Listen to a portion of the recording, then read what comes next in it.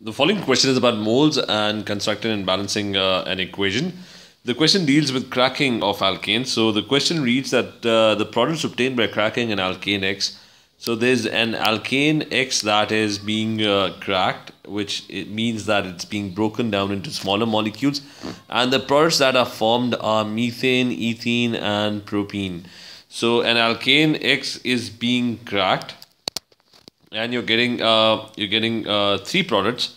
One is methane, which is CH4. The other one is uh, ethene, which is C2H4. And the third product is propene, which is C3 uh, and H6. So that is C3H6. So these are your three products uh, that are being obtained and he's saying that the mole fraction of ethene is uh, 0.5 what this mole fraction what this term mole fraction means that whatever the products half of them 0.5 0.5 means half of them are going to be ethene. So if you if you're getting three products so let's start with uh, let's try and balance this uh, equation.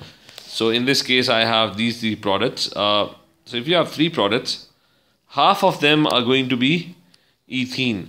So the only way half of them would be ethene is uh, if I have three molecules, half of them is 1.5. So that can't be correct. Uh, there should be two molecules of uh, ethene. Uh, half of them should be ethene. So now if I put a 2 over here, now I have 4 products being obtained. And out of those 4 products, 2 of them are ethene. So out of 4 products, or out of 4 molecules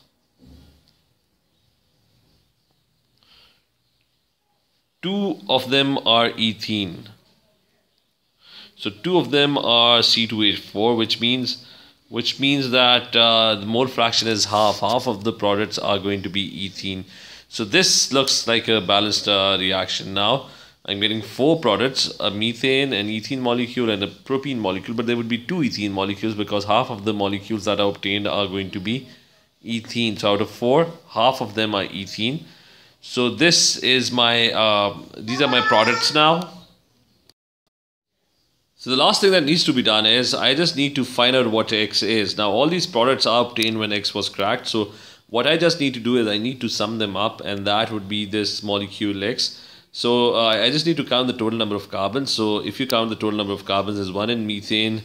Uh, there are four uh, carbons over here and there are three carbons over here. So that's four plus three plus one. That's that's a total of eight carbons. So you have uh, eight carbons, and I need to count the number of hydrogens. So there are four over here. There are four into two. That's eight. Eight and four. That's twelve. Twelve plus six is uh, going to be eighteen. So there are a total of eighteen hydrogens So X was cracked and this substance X was cracked and you got all these molecules.